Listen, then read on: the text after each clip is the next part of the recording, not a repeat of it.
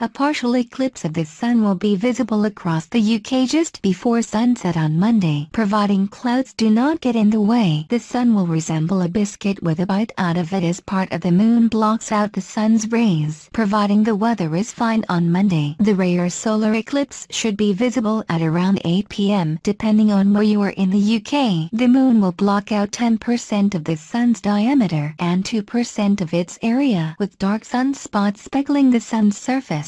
Starting around 7.30 pm the peak of the eclipse will be visible at around 8.04 pm in London, at 7.58 pm in Edinburgh and at 8.05 pm in Cardiff. It should last around 40 minutes in total. While only a partial eclipse in the UK, viewers in the United States will get to see a more impressive total solar eclipse. The partial eclipse can only take place at new moon as this is when the moon passes directly between the Earth and the Sun. More than 10 million Americans are reportedly planning to travel to the path of the total eclipse, which will pass from Oregon through 12 other states before finishing in South Carolina. This will result in temporary darkness in 14 states for around 2 minutes along a path stretching from the east to the west coast. The Royal Astronomical Society warned that extreme care must be taken when observing the eclipse. Experts advise to never look directly at the sun through binoculars binoculars or a telescope as this will risk permanent eye damage. The society warned even staring at the sun is dangerous and sunglasses are no protection. Hospitals regularly see patients who have damaged their eyes while watching eclipses. Don't be among them. The last total solar eclipse in the UK was on August 11, 1999 over Cornwall and South Devon but was for most observers almost completely blocked by clouds. We will have a long wait in until the next total solar eclipse visible from Britain which will not occur until September 23, 2090.